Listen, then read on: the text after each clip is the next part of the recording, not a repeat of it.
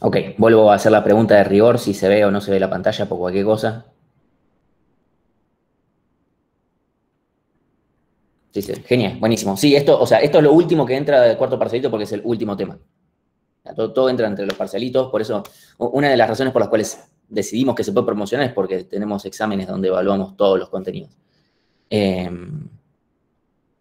entonces, este es en sí el último tema teórico, si bien en la próxima clase vamos a ver unos ejercicios que son avanzados del estilo, algunas cosas ya más jodidas que, vieron en, la práctica, bueno, vamos a ver más de esa onda.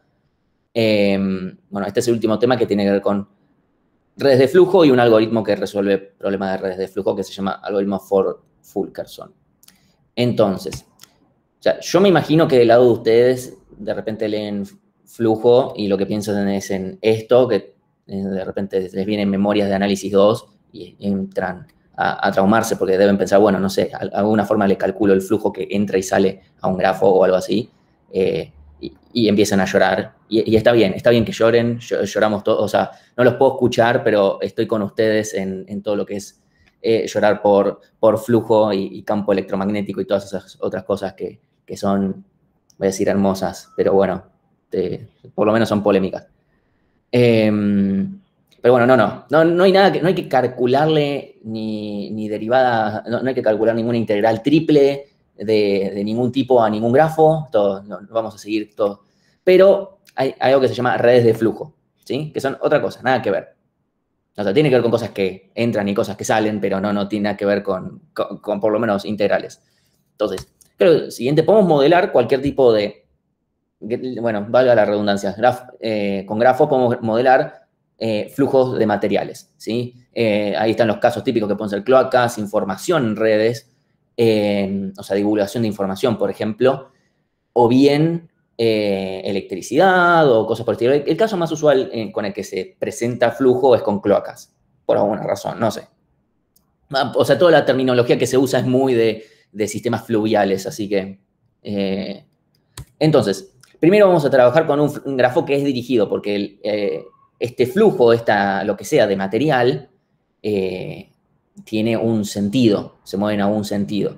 ¿sí? Lo que tenemos es una única fuente, o sea, un, alguien que, digamos, entre comillas, crea eh, el agua, la electricidad, lo que fuere, y un único sumidero, o sea, el único punto donde esto desaparece. ¿sí? Eso después incluso puede, permite modelar circuitos eléctricos porque si consideramos por ejemplo, la fuente como la parte positiva, el sumidero como la parte negativa, o al revés, no importa, podemos considerar todo eso como un, circuito eléctrico. Eh, no, sé si eso tiene muchas utilidades, pero bueno.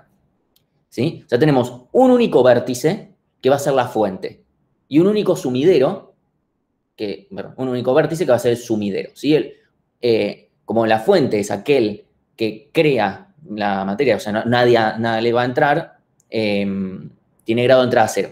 Y el sumidero va a tener grado de salida cero, porque todo termina ahí, ¿sí? Después todo el resto de los vértices puede tener grado de entrada, salida diferente, etcétera, ¿sí? Entonces, cada vértice intermedio simplemente traslada lo que le pasa, o sea, no puede ni producir ni consumir. Es, eh, un análogo a la, a la, ley de conservación de la materia, de la energía, de la carga eléctrica, todo, etcétera. Bueno, es exactamente igual. En un punto determinado, un vértice que no sea ni flujo ni sumidero, no se crea ni se, ni se consume nada. Simplemente se deja pasar por alguna vía. ¿sí? Supónganse, supónganse en un, bueno, voy a usar el caso del circuito eléctrico, o sea, que tengo dos puntos para, hacia donde puedo ir, dos bifurcaciones porque tengo un paralelo. Bueno, eh, la corriente eléctrica puede ir por un lado o por el otro. Bueno, acá es lo mismo, o sea, el flujo de lo que sea que tengamos puede ir por una arista, por otra, siempre, o sea, las aristas que existan, eh, pero no puede quedarse en el vértice y el vértice no crea. ¿sí? Entonces, cada arista va a tener un peso ¿sí? que refleja la capacidad eh, de transporte por esa vía. ¿sí? Un segundo. Entonces, voy Yo si tengo una arista de peso 3, lo que dice es, esta, capacidad, eh, esta um, arista tiene una capacidad 3. O sea, pueden pasar 3 unidades de material por acá. No puede pasar más puede pasar menos, ¿sí? Pero más no porque se rompe el caño directamente. O sea, no puede pasar más agua que, no sé, 3 litros por segundo, una cosa así, porque se rompe el caño. Eh, y obviamente no queremos que se rompan los caños, pues tenemos que ir a arreglarlos. Y ya aprendimos de, la clase de árbol de tendido mínimo que nadie quiere arreglar las cosas. Entonces, voy a fijar si hay preguntas con esto. Un segundito. Eh,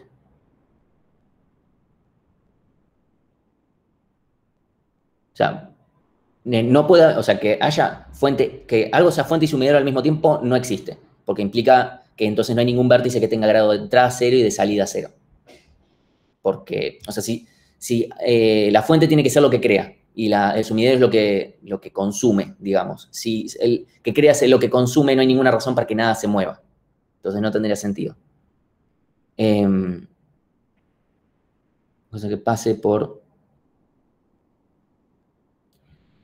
Sí, exactamente. O sea, ¿cómo pensamos la capacidad? Si es como si pueden pasar 3 litros por segundo o esto tiene eh, un determinado volumen y si pasamos más volumen de agua, lo que fuere, agua o lo que fuere, ¿sí?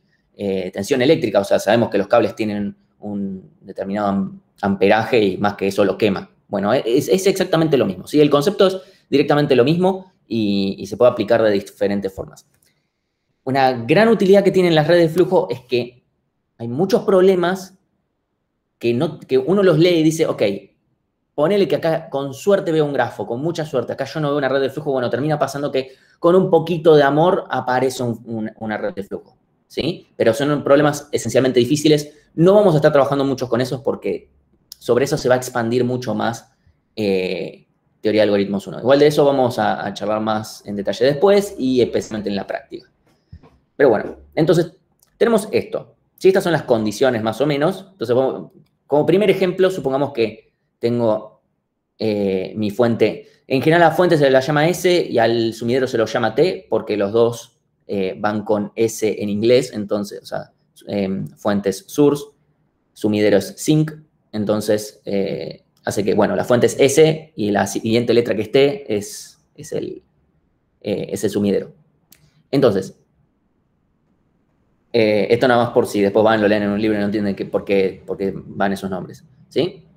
Entonces, eh, las aristas, o sea, van saliendo de la fuente. Fíjense que ninguna arista entra a la fuente, las aristas terminan entrando al sumidero. Y después, bueno, todo esto acá puede tener distintas entradas y salidas, o sea, puede tener, ven acá tiene grado de salida 3, y acá particularmente todos tienen grado de entrada 1, pero no es importante, acá tienen grado de entrada un montón, este ejemplo particularmente, por ejemplo, no tiene ciclos, pero tranquilamente puede haber ciclos, siempre y cuando obviamente no, involucre ni a la fuente ni al sumidero, ¿no?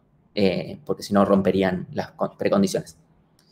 Pero, mm, o sea, entre esto, por ejemplo, podría haber una arista de A a C2, de C2 a C1, de C1 a A, de A a T, por ejemplo, eh, o lo que fuere. Y eso puede tener sentido. Eh, y eso es, eso es importante, porque el seguimiento del algoritmo puede ser un poco más rebuscado al principio, después, eh, después medio que ya está, se, entiende. El problema es llegar a, que a uno le caiga la ficha de cómo funciona el algoritmo. Entonces, este es en sí el, diagrama de lo que tenemos. Entonces, ¿cuál es el objetivo de todo esto? Es obtener la máxima cantidad de flujo que puedo trasladar, ¿sí? Del, obviamente de la fuente al sumidero. O sea, yo quiero poder ver esto y decir, bueno, ¿cuánto es lo máximo? A ver, por supuesto, el máximo no puede ser ni mayor a 4x4, 16, no puede ser mayor que 16 porque no salen más cosas que 16, ni tampoco puede ser mayor a 4 y 4, 8 y 3, eh, y 3, 11. O sea, no puede ser mayor que 11, por supuesto. Entonces, como mucho puede llegar a ser 11, ¿sí? Porque no, no entra más al sumidero. Pero también puede ser, más, puede ser menor, ¿sí? Porque tal vez entre todas estas cosas hago que no puedo terminar de trasladar 11 hasta el sumidero. Entonces queremos saber primero cuánto vale ese, ese flujo y segundo, cómo lo consigo, o sea, a través de cómo son las aristas, por los consumos de, cada arista para que eso se logre. ¿Sí? Para poder diseñar o incluso para saber, bueno, dónde tengo que mejorar para poder aumentar el flujo. Eso es algo que también vamos a ver.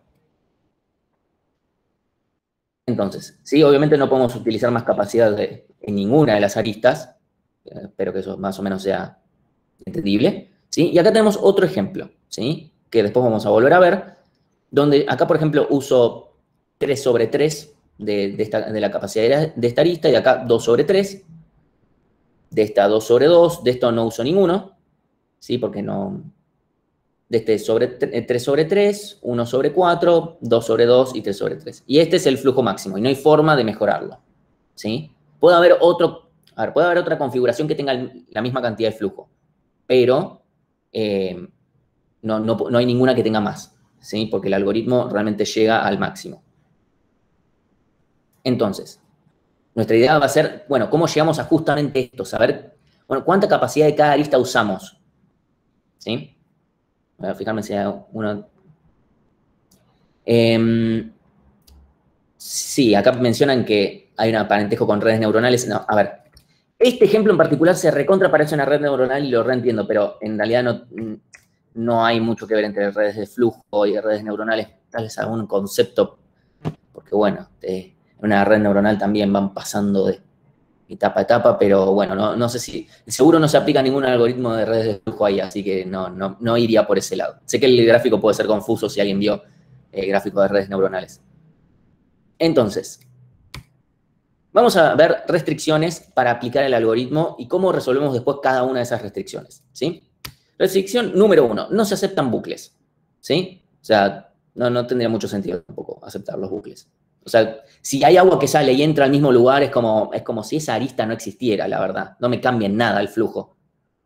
Em, sacando el caso de arista y eh, del, sumidero y, el, la fuente, que esos obviamente no los podemos aceptar porque no, serían ni fuente ni sumidero.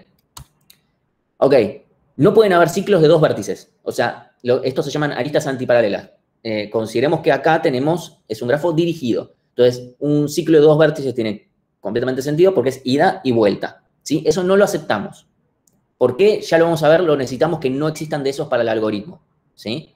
Eso es muy importante. Entonces, punto número uno, no existen bucles. La verdad es que al, problema, la verdad es que no tiene sentido que existan. Eh, no pueden haber eh, ciclos de dos vértices, lo que llamamos aristas antiparalelas. Todos los, todos los vértices pueden llegar al sumidero de alguna forma. Ahora vamos a ver qué pasa si no, pero Solo hay una fuente, solo hay un sumidero, y, bueno, ahora tenemos que ver qué, pasa si no respeto alguna, ¿sí? O sea, esas son nuestras cinco restricciones. Algunas son más fáciles y otras más difíciles de, conseguir, ¿sí? Entonces, vamos a ver qué pasa si alguna de estas no se cumple. Si no, no aceptamos bucles, hay bucles, los sacamos. Fácil, ¿sí? Lo tenemos que hacer, o sea, tenemos que hacer ese preprocesamiento de sacarle los bucles, porque bueno, puede pasar y nos rompe todo. Nos rompe y además no tiene sentido, ¿sí? O sea, es, agua que sale y entra al mismo lugar, la verdad que no tiene mucho sentido. No pueden haber ciclos de, dos vértices, esta es la más, eh, la más difícil, ¿sí? Lo que vamos a hacer es romper ese ciclo de dos vértices metiendo un vértice intermedio. Y creo que voy a cambiar esto por poner un dibujito. ¿Sí? Bueno, después, o sea, básicamente lo que quiero es, yo tengo un vértice que va de A a B y otro de B a A, voy a poner un vértice en el medio, vértice ficticio, que lo llamo C. ¿sí? Entonces hago que A vaya a B, que B, en vez de ir a A de vuelta, vaya a C y que C vaya a A. ¿Sí? Y entonces, esta arista y esta arista van a tener los dos la misma capacidad que em, esta arista acá, ¿sí? La que volvía a A. ¿sí? Espero que eso se entienda, si no, o sea, veo incluso de armar un dibujito ahora mismo, pero lo, vamos a ver en, eh, seguro eso igual en la práctica lo van a ver, pero voy a fijarme si eso se entiende. El objetivo, eh, Julián, es maximizar la cantidad de flujo que yo voy a llevar de la fuente al sumidero. Quiero llevar lo máximo que yo pueda.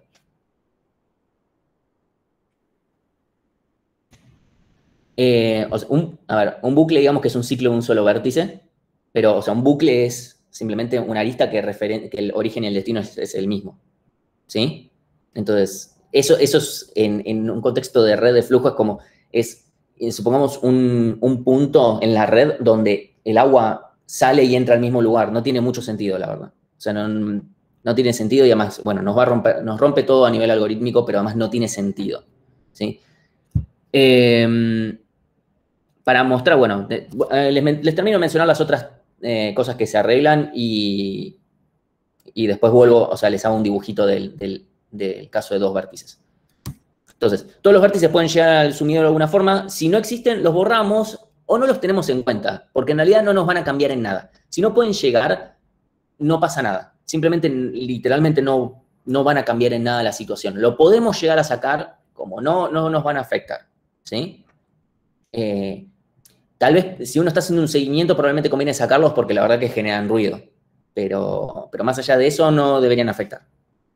Después, si hay una, si hay una fuente, perdón, si hay más de una fuente, o sea, hay eh, más de un vértice con grado de entrada cero, lo que vamos a hacer es agregar un vértice ficticio que va a ser la superfuente, que va a tener aristas a todas las mini fuentes, ¿sí? Y, bueno, y todas las mini fuentes eh, con, peso infinito, o sea, tiene capacidad infinita, ¿sí? Y lo mismo para el sumidero, si hay muchos sumideros, o sea, si hay muchos con grado de salida cero, creamos un sumidero ficticio y todos los sumideros reales van a ese, ¿sí? Y, generamos un... Entonces, para mostrarlo con, ejemplo, ¿sí? Lo, lo voy a hacer acá. Discúlpenme lo rudimentario de lo rápido que lo voy a hacer, pero...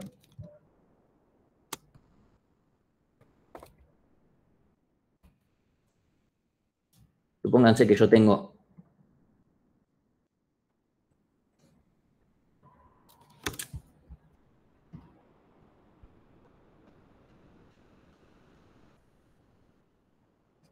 Un segundito.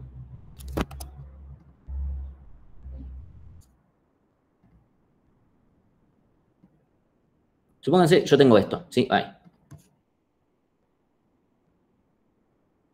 ¿Sí? Y pongámosle que este es A y este es B.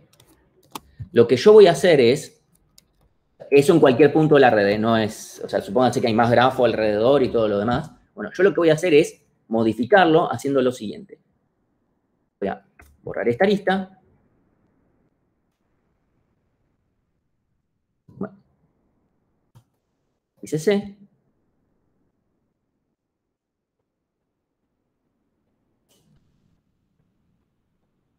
y vamos así. Donde supongamos que esto tiene, no sé, peso 10 y esto, no sé, peso 8, por poner un ejemplo, ¿no?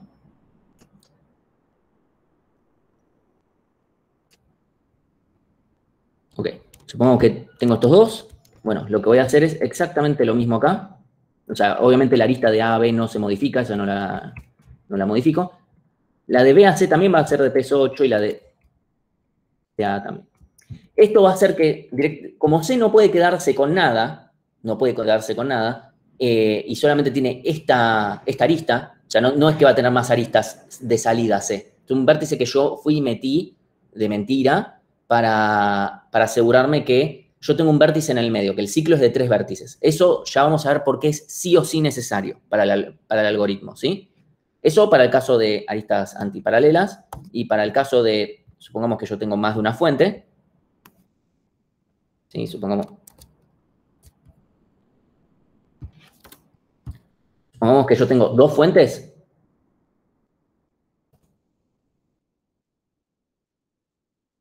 esto saca aristas hacia algún lado. ¿Sí? Bueno, si yo tengo dos fuentes, lo que voy a hacer es crear una, otra vez, lo que se llama, lo que, se llamaría una superfuente. Llamar S. Y le pongo acá directamente uno, dos, y ahí a estos dos les pongo, bueno, no tengo, no voy a poner más, pero a estos, dos les pongo peso infinito, ¿sí? Eh, obviamente supongan esto dirigido.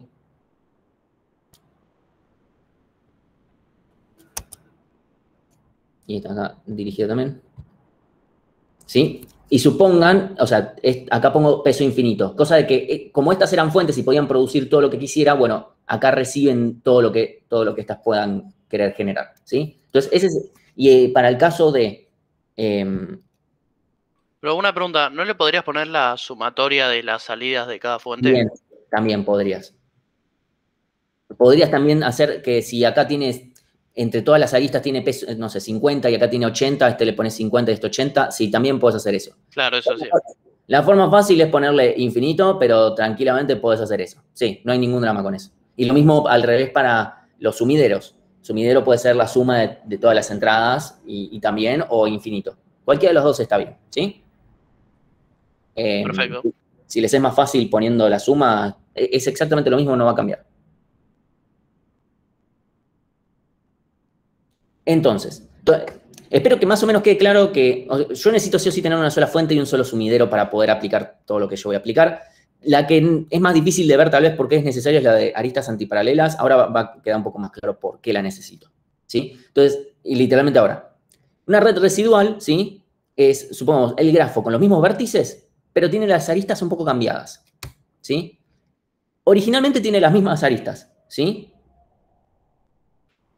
O sea, inicialmente va a tener todo, todo igual. Pero lo que va a tener es la misma red con las mismas aristas, pero en vez del peso ser eh, el peso original, van a tener lo que les queda para usar. ¿Sí? O sea, por ejemplo, supongamos que yo hice, eh, no sé, hice algo y empecé a usar un, empecé a usar dos de capacidad de esta arista, bueno, voy a tener en la red residual, voy a tener esta arista, pero que en vez de peso 4 voy a tener peso, bueno, supongamos que he usado 3, supongamos que estoy usando 3, en la red residual voy a tener esta arista con peso 1. ¿Sí? Si tiene peso 0, eh, directamente no está, no está la arista. Entonces, eso como punto número 1. Punto número 2, está la arista opuesta, ¿sí? la que vuelve, pero con la capacidad que ya usé. Entonces, entre, lo, entre la arista que está en el sentido original con lo que me queda, más la del sentido contrario, que la que ya usé, me suman la original, necesariamente. Y por eso es que necesito no, tener aristas antiparalelas, porque si no, no puedo distinguir entre, chestas una arista que, la creé porque era de la red residual o porque ya estaba. Entonces, no, no funcionaría. Por eso necesito evitarme ciclos de dos vértices, porque acá los voy a generar. ¿Sí? Si alguno de los anteriores no existe, no hay arista, ¿sí? O sea, si no usé nada de capacidad o usé toda la capacidad, bueno, una u otra no existen, ¿sí? Ahora, igual de vuelta, vamos a ir con, un ejemplo. Em, y, bueno, en el peor de los casos, la red residual va a tener el doble de aristas porque va a tener todas las mismas originales y todas las vueltas. Así que eso ya espero que más o menos se vea que no debería complicar complejidades por demás. Entonces, eh, bueno, y además se puede ver que, bueno, un grafo residual es una red de flujo salvo por las aristas antiparalelas que se crearon. Eso es un detalle. Entonces, camino de aumento. estoy, tirando un montón de conceptos, ya lo sé, están muy en el aire, pero si no tiro todo esto, no, podemos hacer ningún seguimiento. ¿sí? Yo tengo que encontrar un camino desde la fuente al sumidero. En el grafo residual, no en el original, porque en el original la verdad que a medida que yo voy haciendo cosas, el original ya no me importa. Entonces, en el grafo residual, yo tengo que ir buscando caminos. De cualquier tipo de camino. Puede ser un camino aleatorio, o puede ser un camino eh, mínimo, o puede ser un camino, lo que sea.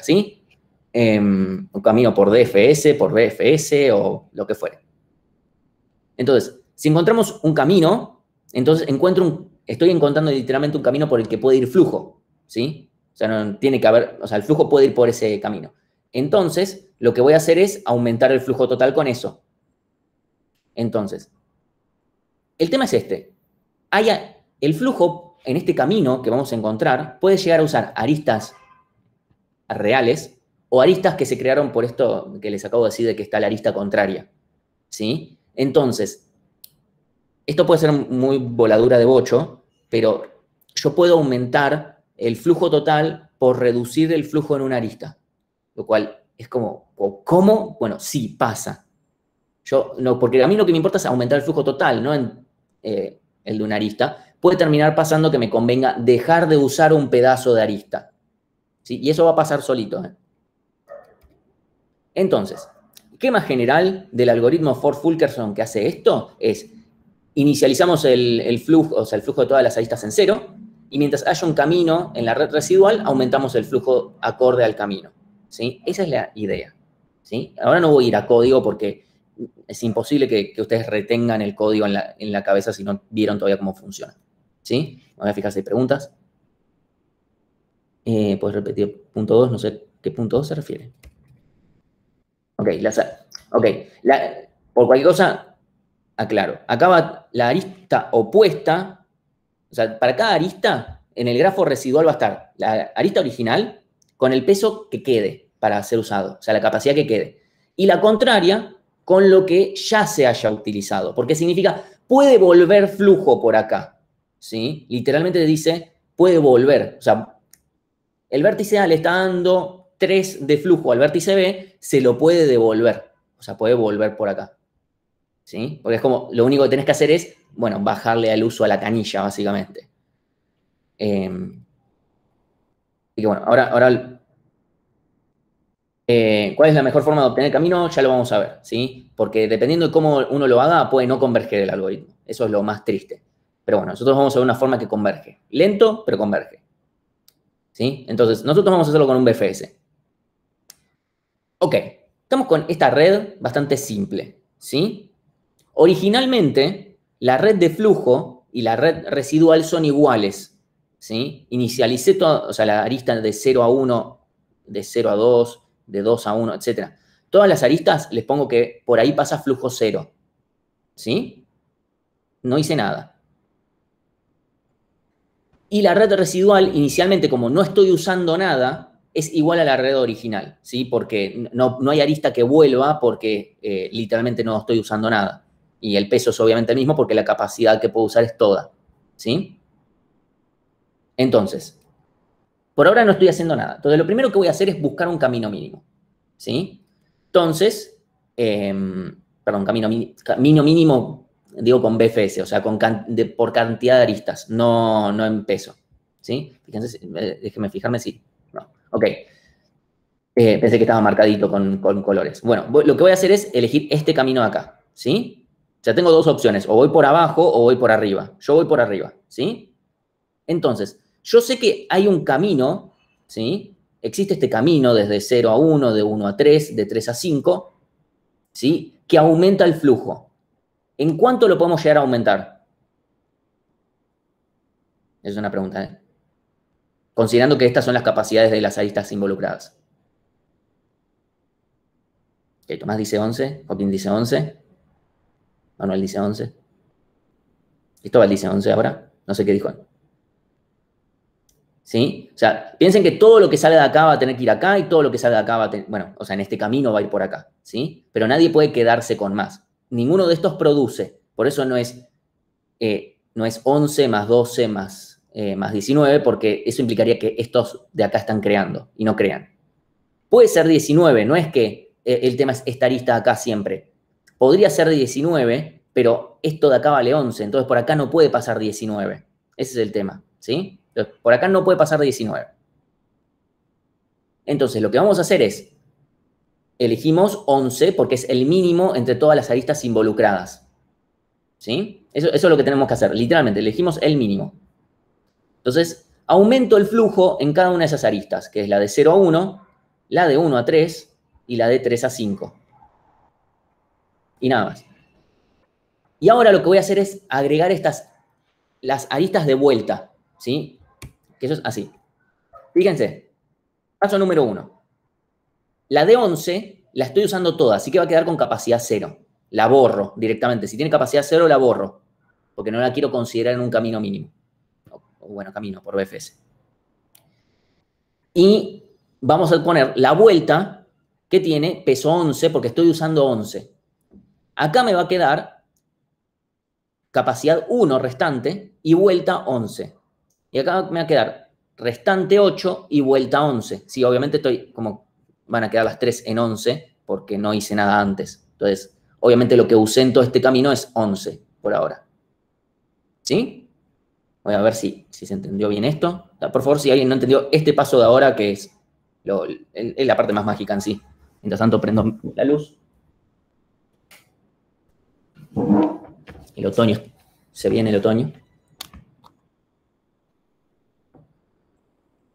Si por favor dígame si este paso de acá alguien no entendió, si, si lo entendieron o algo, no sé. Yo, ¿se me escucha? Sí. Yo, digamos, entendí lo que hiciste. No entiendo muy bien el concepto de para adelante y para atrás. ¿Por qué el para atrás? Porque lo que sucede es lo siguiente. Yo con lo que hice ahora, hice que digo que hay flujo que puede ir. Estas son las aristas originales, ¿eh? Todo lo que está acá son las aristas originales. Entonces yo estoy diciendo, ok, abramos las canillas que van por acá, o sea, esta arista, le abrimos la canilla a esta arista, a la arista que estaba acá antes y la arista que estaba acá antes. Entonces pasa 11. ¿Sí? O sea, no abrí, acá abro el mango. Acá abro en 11 unidades, no abro en más porque no hay más agua para que pase. Y acá también lo mismo, abro en 11 unidades. Entonces, esto lo que me refleja es cuánto puedo yo aumentar todavía más el caudal de agua, o sea, cuánto puedo girar todavía un poquito más la canilla para que pase más agua, y cuánto puedo girar menos para que pase menos agua. O sea, cuánto puedo decir, ok, no, en realidad que pase menos agua. ¿Sí? Eh, porque es algo que me puede llegar a servir, que pase menos agua. Hacer que vuelva agua por algún lado puede hacer que vaya por otro que sea más eficiente. E, es eso. Entonces, como por ahora no lo sabemos, bueno, eh, lo que me está graficando esto es, ¿puedo seguir pasando más agua o puede volver? Genial, ahora sí. ese es el concepto, es cuánto abro o no la canilla. creo que esto solamente se puede entender con agua. Y exactamente como dice Francisco, es cuánto puedo disminuir el flujo. Y uno pregunta, si estás queriendo maximizar el flujo, ¿por qué querrías disminuirlo? Es porque, de vuelta, me puede llegar a pasar que me convenga, ¿sí? Y lo vamos a ver en algún ejemplo. Ahora, no sé si exactamente ahora, pero... Entonces, ahora voy a buscar el, siguiente, voy a buscar otra vez un camino, va a ser mínimo con BFS, o sea, no es mínimo en peso, es mínimo en cantidad de aristas. Fíjense que ahora no voy a tener en cuenta esta arista acá, o la que estaba originalmente, porque ya no está. Entonces voy a ir sí o sí por este camino. Entonces, acá voy a aumentar el peso de 0 a 2, de 2 a 4 y de 4 a 5. Sí, fíjense que el resto de los caminos son más largos, ¿eh? por eso estoy eligiendo este. Y lo aumento en 4, porque 4 es la mínima de las aristas involucradas. O sea, no puedo decir, bueno, pasémosle 8 porque todo muy lindo. De 0 a 2 puede pasar 8, de 2 a 11 puede pasar 8, pero de 4 a 5 no puede pasar 8. ¿Sí? Entonces, eh, no, no, funciona así. Y fijarnos si existen otras aristas que no sé qué, para, no conviene. Entonces vamos a hacer directamente el mínimo. ¿Sí? Entonces, directamente vamos a aumentar en 4 todas esas aristas. ¿sí? Son las que acabo de marcar acá. Y el paso siguiente es de vuelta. Obviamente, cada vez que yo hago esto, hay una arista que va a desaparecer y va a aparecer la contraria completa, ¿sí? Porque alguna de todas las aristas se agota. Entonces, en este caso se va a agotar esta que va a tener como vuelta 4. Y en este caso, a esta le va, a seguir quedando capacidad 7 y puedo reducirlo en 4. Puede aumentar en 8 si lo pongo directo. ¿Sí? Esta arista, por acá puede pasar, no sé, 8 litros por segundo, 8 litros por minuto, no sé, lo que digan. ¿Sí? Podemos pasar 8 unidades más, o sea, puedo abrir en, no sé, 8, no sé, revoluciones más si quiere, no sé, lo que fuere, la canilla, y la puedo reducir en 4 para que vuelva a 0. Lo mismo de 2 a 4, la puedo seguir aumentando en 7 unidades, pero la puedo reducir en 4, y de 4 a 5 solamente la puedo reducir, no puedo aumentarla. ¿Sí? Ese es el, el último paso. Entonces, ahora vuelvo a hacer lo mismo, voy a buscar un camino. Entonces, eh, les soy honesto, no me acuerdo cuál camino elegí.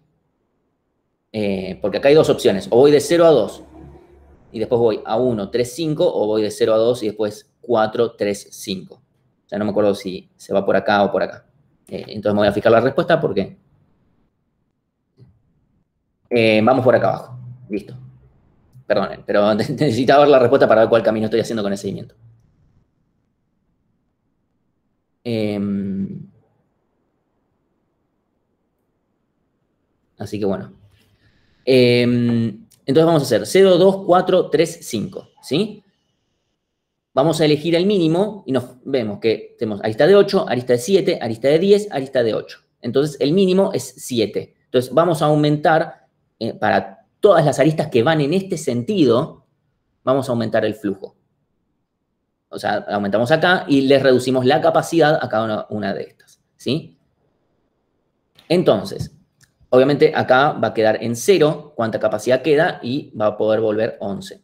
Acá va a quedar en 3, 3 y, perdón, 3 que quedan y 7 de vuelta, y acá va a quedar 1, 1 y 18, y acá van a quedar 11 em, y 1, ¿sí? Ahí aumento, nada dice la cuenta nada más, y aumento, ¿sí? Estoy haciendo esto, metodológicamente hago esto una y otra vez, una y otra vez. que hasta ahora parece que no tiene ningún tipo de, como, bueno, no, todavía no entendí para qué sirven las aristas de retorno, van a llegar. perdón, las de retorno, las, las de la vuelta, estas, las antiparalelas que metí, van a servir para algo. Entonces, ahora me queda este camino, fíjense, de 0 a 2, de 2 a 3, de 3, perdón, de, no sé ni leer, de 0 a 2, de 2 a 1, de 1 a 3 y de 3 a 5. ¿Sí? Vamos a hacer esto. Entonces vemos que el mínimo es 1, ¿sí? que está en varios lugares. Está acá, está acá y acá. ¿sí? Entonces directamente tic, aumentamos en 1 todos estos, todas estas opciones y reducimos. Y ahora vamos a volver a buscar un camino de 0, o sea, de la fuente al sumidero. Como no hay, el algoritmo terminó y encontramos el flujo máximo. El flujo máximo es directamente, bueno, ahora justo pasó que se acabaron las capacidades de la fuente y las del sumidero. ¿Sí? En total, el flujo máximo es 23, lo podemos ver sumando las aristas que ahora salen de acá o, el flujo de las que salen de acá, lo que fuere, ¿sí? Eh, podemos ver cualquier lado y es lo mismo. Porque obviamente como todo lo que sale es lo que entra, podemos ver cuánta capacidad eh, fue usada de cero o cuánta eh, capacidad se puede devolver desde 5.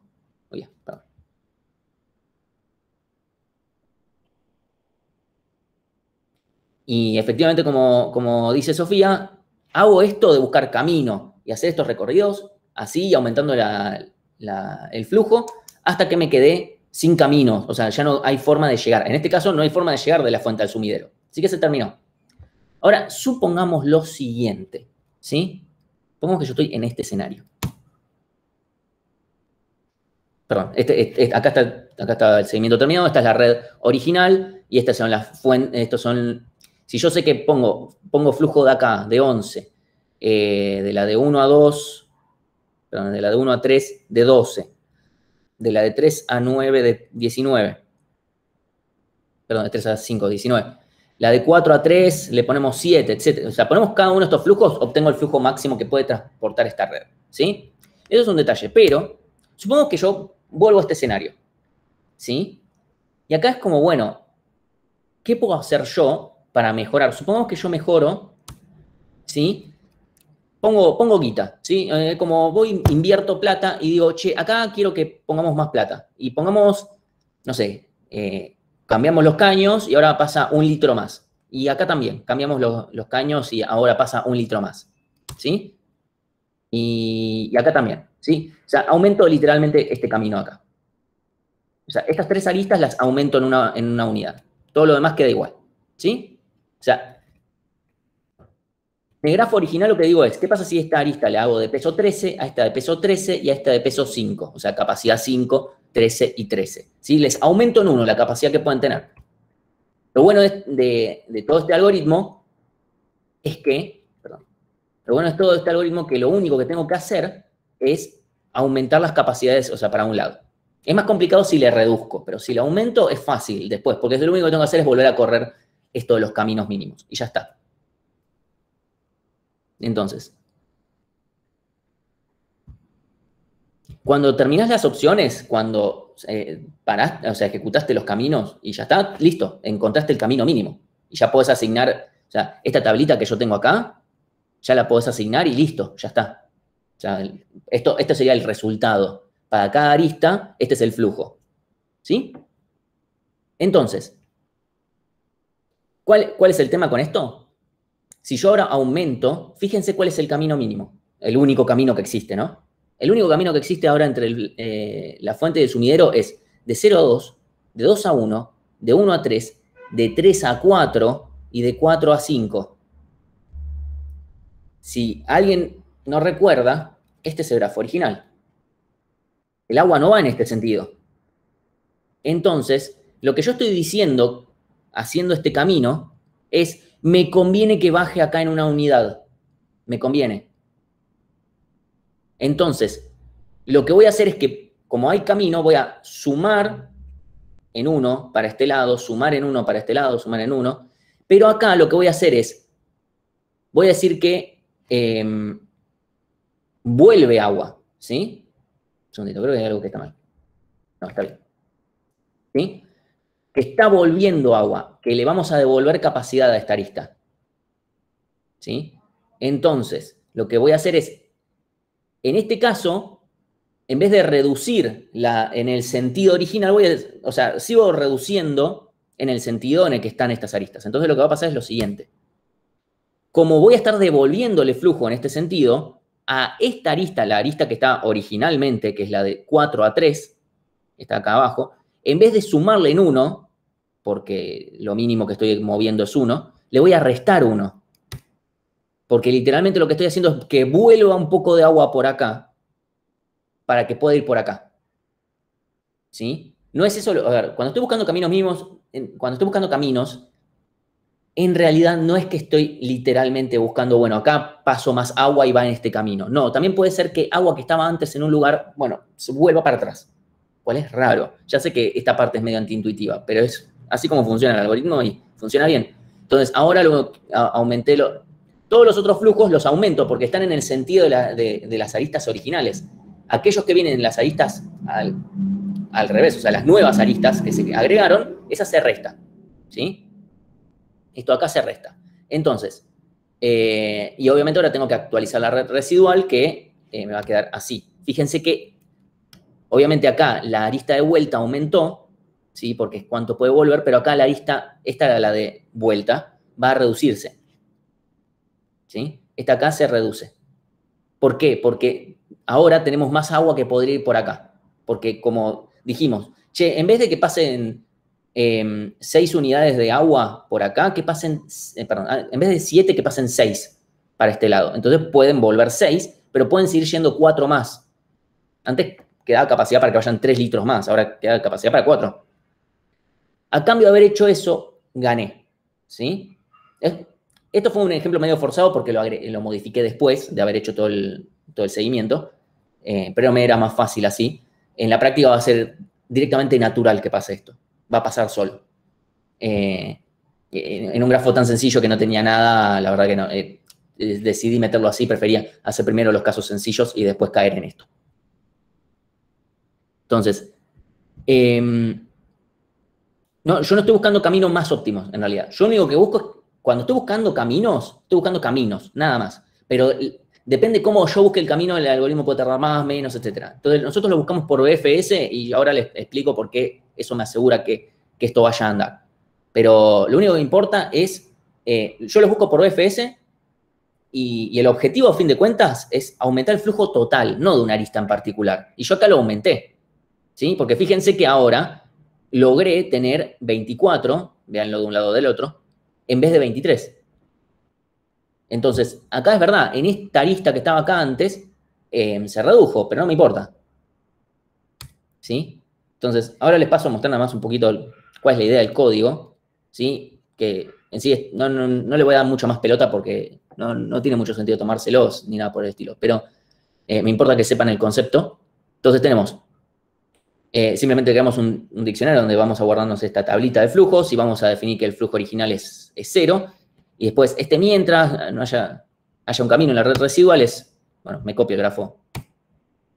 Entonces, me fijo si hay un camino mínimo.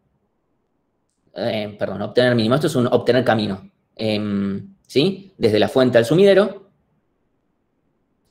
Y después lo que vamos a hacer es aumentar esta parte del flujo que depende. ¿Sí? Lo que hago es obtener cuál es el camino residual de de todo este camino, que depende, cuál es el mínimo de todos los pesos involucrados, ¿sí? Eso es lo que voy a hacer. Y después lo que me fijo es por cada arista ahí en ese camino, em, básicamente lo que voy a hacer es, si, el, si una arista en particular existe em, dentro del, grafo, entonces aumento la capacidad del flujo, ¿sí? Y, bueno, considero cuánto, o cuánto, cuánto flujo estoy aumentando, ¿sí? Le, aumento el flujo. Y lo que hago es actualizar la, esto, la red residual. ¿sí? Esto de restarle a la que existe y, hacerlo a, la contraria. Y si no, en vez de sumárselo, si es una lista ficticia, digamos, entre comillas, es esta lista que agregué, entonces lo que hago es restarle flujo en ese sentido. ¿Sí? Porque lo que estoy diciendo es en realidad el agua está yendo en el otro sentido, está volviendo. Sí, esa es la idea más o menos del código. y ahí está más o menos cuál es la idea de actualizar pesos según una, forma u otra. Em, según si la lista existe, sacarla o no sacarla, ese tipo de cosas. No, no, no me quiero detener demasiado en el código porque eh, no creo que valga la pena, la verdad. Déjenme verla ahora. Estamos bien. Sí, voy a fijarse una pregunta, nada más. Ahí.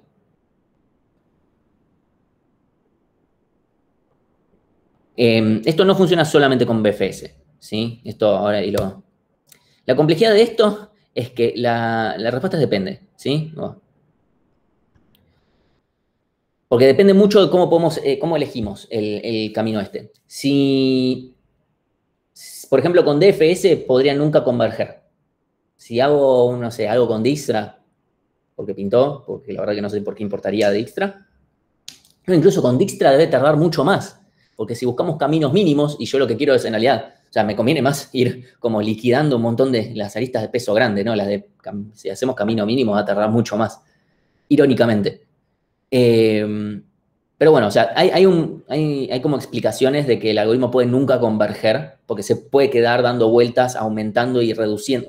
Como reduce, eh, puede reducir el, la capacidad de una arista, y después lo puede aumentar, y después reducir y aumentar y reducir y aumentar. Si luego por DFS puede no tener en cuenta un montón de cosas y puede andar muy mal. Entonces, hay un teorema de Edmond y Karp que dice que em, si yo uso BFS, esto va siempre a converger y, va a ser, y la complejidad va a ser ODB por E cuadrado. Una complejidad hermosísima por donde se la mire. Creo que no, tenemos complejidad más fea. Eh, o sea, eh, si el grafo es muy denso, esto puede ser B a la quinta, para que se den una idea de lo que es esto. Pero bueno, hay cosas peores en la vida, ¿sí? Eh, y Felipe, hacer un hip el, al revés no creo que funcione, honestamente. Porque si sigue siendo problema camino mínimo, no va a funcionar. Pero bueno, nos quedamos con que vamos a usar BFS porque hay un teorema que nos dice esto va a andar y por lo menos está seguro en cuanto. Los otros, te la debo. ¿Sí? Entonces, esto es más o menos para que vayan teniendo una noción de, todo esto. No, realmente, yo sé que esto fue muy confuso, traté de hacerlo lo mejor posible, pero realmente este tema no es fácil, lo sabemos. Ahora lo tienen medio en el aire. Ahora van a ir a la práctica y van a ver varios ejemplos de esto, ¿sí? Eh, así que bueno, por favor, eh, métanse a, Estas son las clases de Jorge, que Jorge quiere mucha participación. Eh, pífenle zarpado. O sea, posta. el tema es mucho más fácil de lo que parece, porque después al final del día es, bueno, aplicar BFS y actualizar estas aristas como van y ya está. O sea, a la larga termina siendo eso. No es más complejo que eso, pero hasta que uno lo realmente entiende lo que está haciendo, con todo eso hay una ficha que tiene que caer. Entonces, nada, eso, tenganlo en cuenta. Entonces, hay otra cosa más que nos lleva, eh, tema de flujo, que es algo interesante. Esto no es algo muy, muy importante, pero es para que lo sepan. Más que nada en materias siguientes tal vez lo mencionan y está bueno que por lo menos lo tengan de oído. ¿Sí? Que lo que pasa es lo siguiente. Yo puedo tener el corte mínimo de una red, es el peso total mínimo que yo necesito cortar literalmente para eh, hacer que un grafo deje de estar conectado. ¿Sí? Eh, conexo para grafos no dirigidos y débilmente conexo para dirigidos, no fuertemente, débilmente. ¿Sí? Em, si el grafo es no pesado, corresponde directamente a la cantidad de aristas, ¿sí? Porque es como si tuviéramos dos pesos en uno. Entonces, se aplica en cualquier tipo de grafos esto, pero en particular en, redes de flujo, porque este es un problema muy complejo de resolver en condiciones generales. Eh, de eso vamos a hablar un poquito después del parcialito. Em, entonces, se aplica a cualquier tipo de grafo, pero en particular con redes de flujo pasa lo siguiente. Hay un teorema que dice que cuando yo llego al, flujo máximo, el valor del flujo máximo es igual al corte mínimo. Sí, hay un teorema que lo dice. Eh, no sé, link a chartas.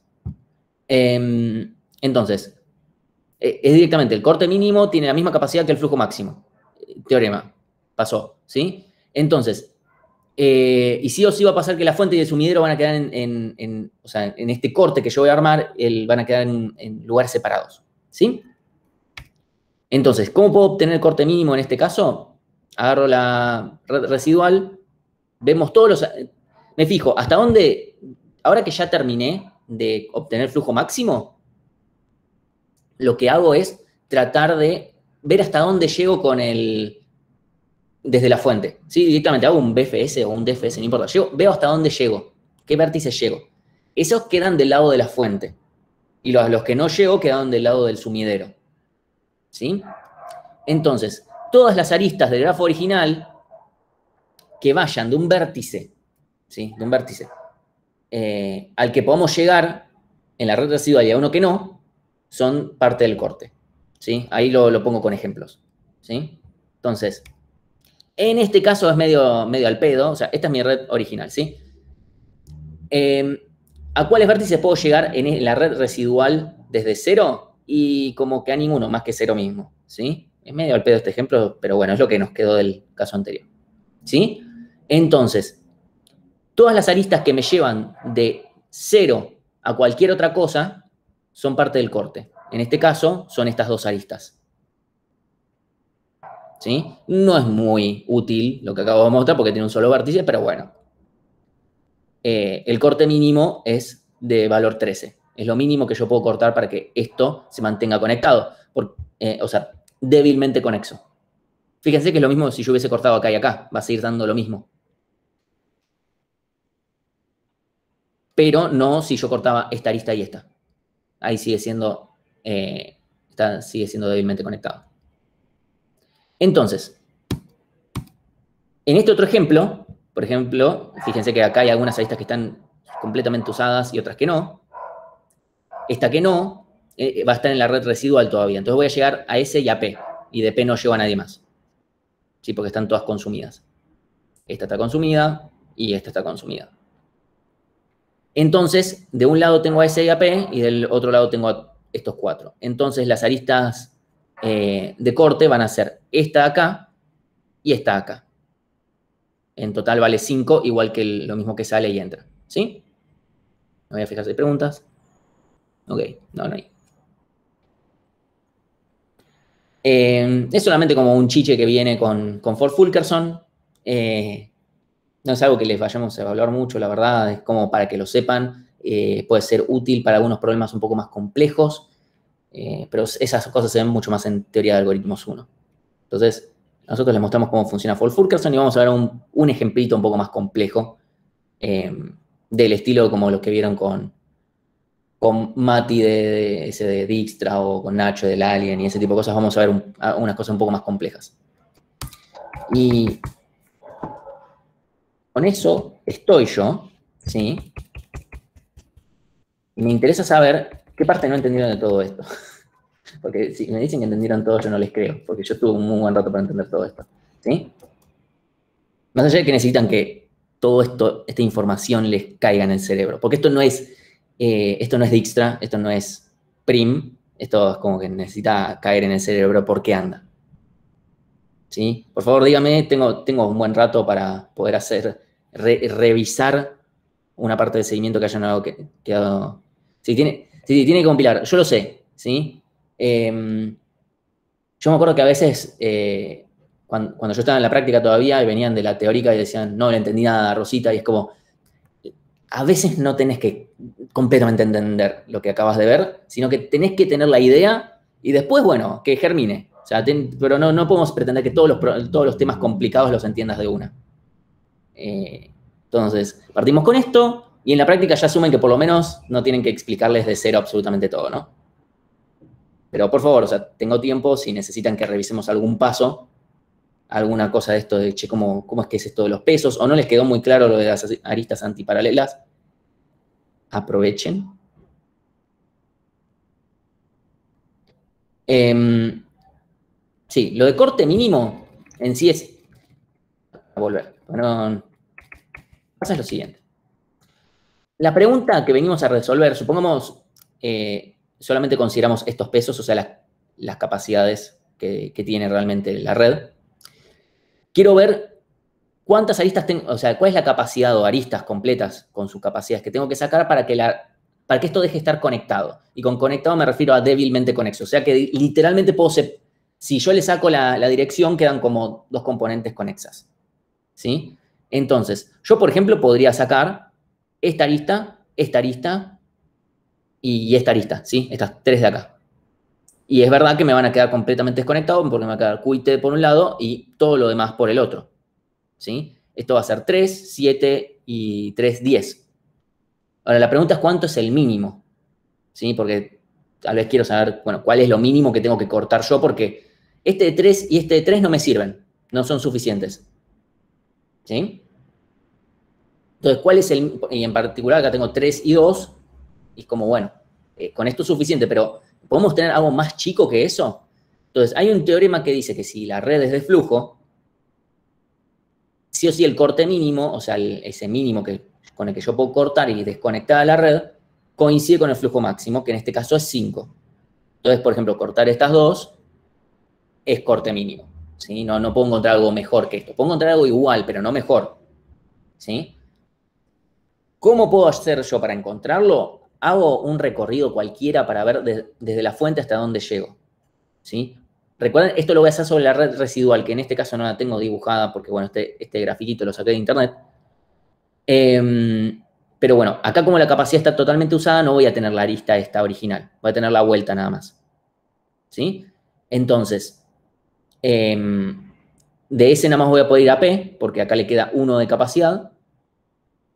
Y de P no voy a poder ir a ningún lado más, porque la única arista que tiene ya está completamente usada. Entonces en la red residual no va a existir. ¿sí? Entonces solamente de este lado voy a tener a S y a P. Entonces, ahora lo que me fijo es, bueno, en el grafo original, ¿cuáles son las aristas que me conectan a S y a P con otros, con vértices de, de afuera? Y las aristas que me unen son esta acá y esta acá. No esta, esta no, porque esta no me une de, de, de, este lado a este lado, eh, sino que me une al revés y eso no es lo que yo quiero ver. ¿Sí? Entonces, esta arista no la tenemos en cuenta. Tenemos en cuenta esta y esta. Entonces decimos que estas son las aristas de corte y, por supuesto, suman 5. Eh, esa, esa, es la forma metodológica. De vuelta, también se puede usar esto acá, pero no lo vamos a hacer. Entonces ahí me... O sea que el recorrido BFS lo que hago es usar las aristas de la red residual pero invertidas. No, a ver, Tomás, un segundo.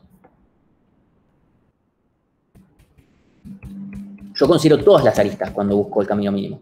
El camino, por, por ejemplo, acá, yo uso todas las aristas. Yo, literalmente, yo tengo un grafo de estas características. Un grafo que es pesado, pero no, en mi recorrido BFS no lo voy a mirar, que tiene estas características. Y yo voy a hacer un BFS de 0 a 5. Y ese BFS me va a dar tuk, tuk, tuk, tuk, tuk. Y ya está. Eso es lo que hago. ¿sí? Yo considero todas las aristas de la red residual, tanto las que me hayan quedado iguales a como era originalmente, como las que son las de vuelta.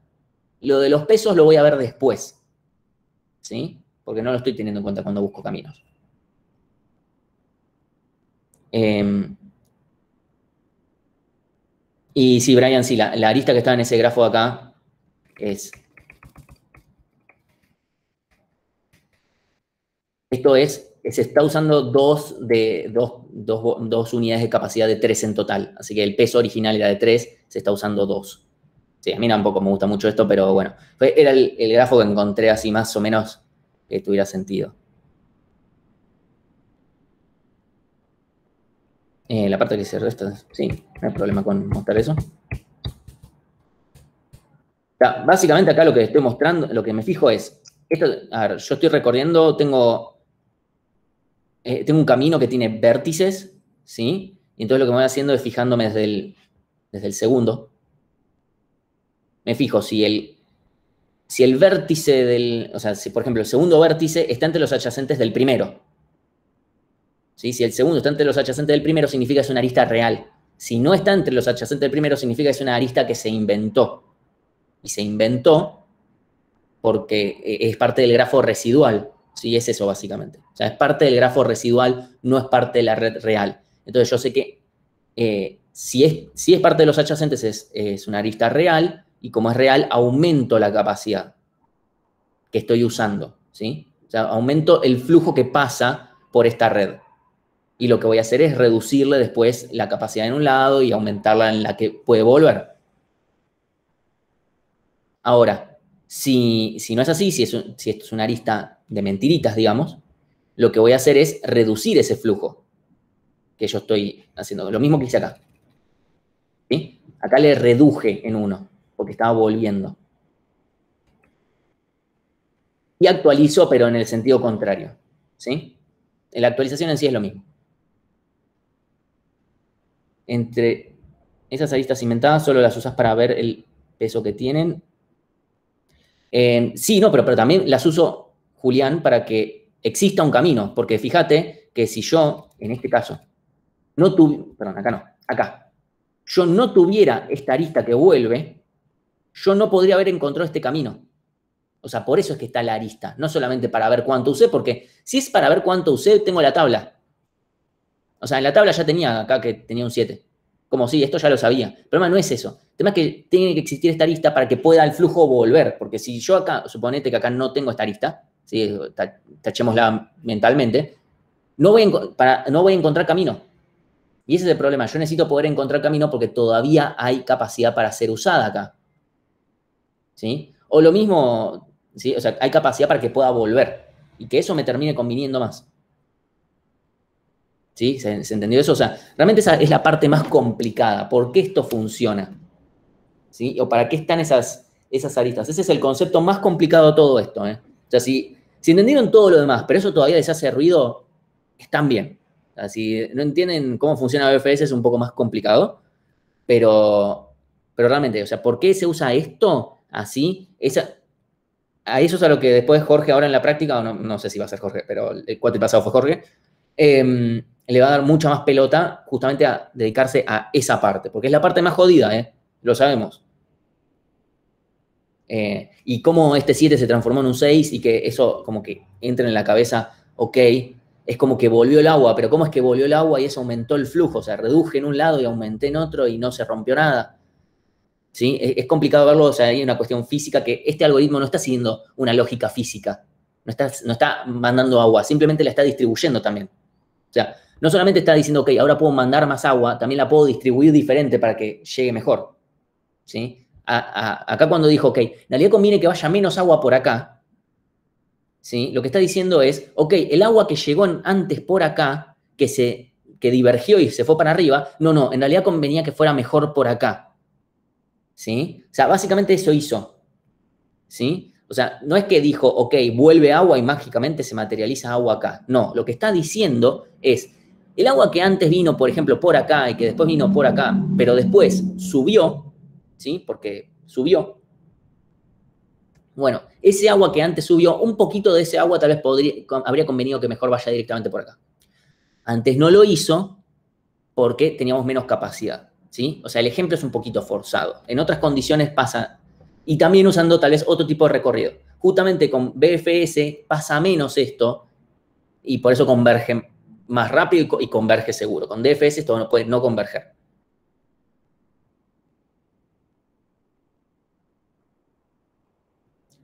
Eh, sí, o sea, Julián lo podemos ver exactamente como que literalmente, tal vez conviene cerrar la canilla por un lado, porque si yo tal vez cierro la canilla por acá, puede aumentar por acá.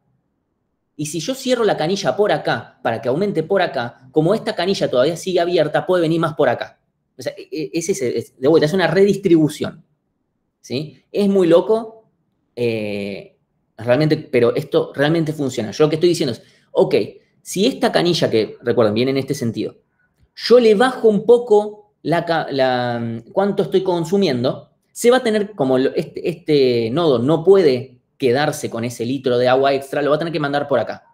¿Sí? Hasta ahí no hice ningún cambio porque ese agua ya le llegaba al 4. El tema es que a 3 le está llegando más agua porque le vino por estos cambios que metí acá. ¿Sí? O sea, esta arista que yo agregué, este peso que yo agregué, este que yo agregué. ¿Sí? Entonces, pero 3 antes estaba mandando un litro por acá. ¿sí?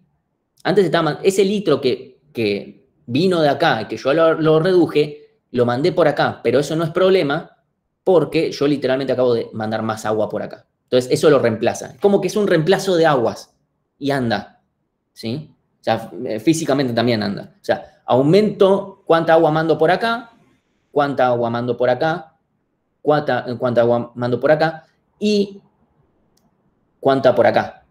y acá se reduce. Y literalmente esto funciona. Ah, y, gané. Espero que se haya entendido un poco mejor con esto de acá reduzco cuánta agua pasa y, ese agua se tiene que ir por acá. Eso va a pasar necesariamente, porque el agua que, eh, que sale de acá tiene que entrar acá. Y el agua que vino ahora nueva por acá, ahora va a usar este camino que está liberando el agua que vino por acá extra. ¿Sí? Es eso. Sé, que tal vez es, eh, es medio abstracto de verlo, pero realmente funciona. No, no, no es. Entonces, un segundito. Era como lo que me mandaste, mejor quédatelo. Sí, exactamente, quédatelo, pero además lo tenés que mandar por otro lado. Por eso es que no se pierde. El agua esa no se pierde y la tiene que mandar por, eh, bueno, la, que ahora tiene capacidad 5. ¿Sí? Eh, y se puede ver como un embotellamiento tranquilamente, donde, no sé, por ejemplo, aumenta la capacidad en algún lado y eso hace que se reduzca en otros. ¿Sí? Eh, por eso, a veces, eh, sé que esto es, esto es raro, pero a veces las autopistas empeoran el tránsito. Irónico, ya sé que es irónico, pero hay, un montón de conceptos ahí, hay teoría de juegos también metido ahí, pero a veces no necesariamente las autopistas mejoran la situación. Tal vez tiro abajo una autopista y eso hace que después, obviamente, así, mejorando otros sistemas, o sea, otros, otros lados paralelos, tal vez mejora el tránsito. Eso como un ejemplo, ¿no? Em, eh, eso para que hay conceptos que no tienen que ver con grafos ahí metidos. Pero, pero bueno, espero que más o menos, obviamente esta red quedó así. ¿Sí? Y esto, obviamente, con el corte mínimo yo puedo saber dónde puedo mejorar, porque acá el corte mínimo me da estas aristas. Entonces yo sé que si yo quiero mejorar el flujo, mínimamente tengo que mejorar algo acá. En alguna de estas aristas yo tengo que mejorar el flujo o la capacidad, porque si no aumento acá, no importa yo todo lo que aumente acá, no va a cambiar en nada. Si Yo puedo poner de capacidad 10 millones, que el cuello de botella va a estar acá. ¿Sí? Obviamente, si yo ahora de repente aumento acá, no va a ser suficiente. Y tengo que volver a aplicar la lógica de corte mínimo para eh, ver, dónde nuevo me, puedo mejorar. ¿Sí? Hasta que haya un camino de 0 a 5. O sea, esa es la utilidad de corte mínimo. Así que bueno, no sé si Espero que, la analogía con agua y explicando cómo, suben y bajan las cosas que haya quedado un poquito más claro. Sé que tal vez alguien está jugando con sus canillas en casa y por favor no lo hagan. Eh, pero bueno, eh, les, voy, les doy unos minutos más para, para que hagan preguntas, si no, bueno.